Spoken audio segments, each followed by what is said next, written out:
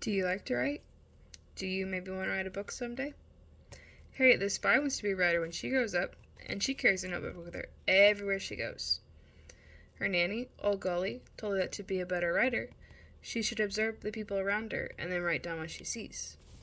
Harriet writes, Ole Golly says there's as many ways to live as there are people on the earth, and I shouldn't go around with blinders, but should see every way I can. Then I'll know what way I want to live, and not just live like my family. In order to do that, every day Harriet goes on her spy route, where she goes around and she observes everything that she notices about her friends, her neighbors, and her classmates.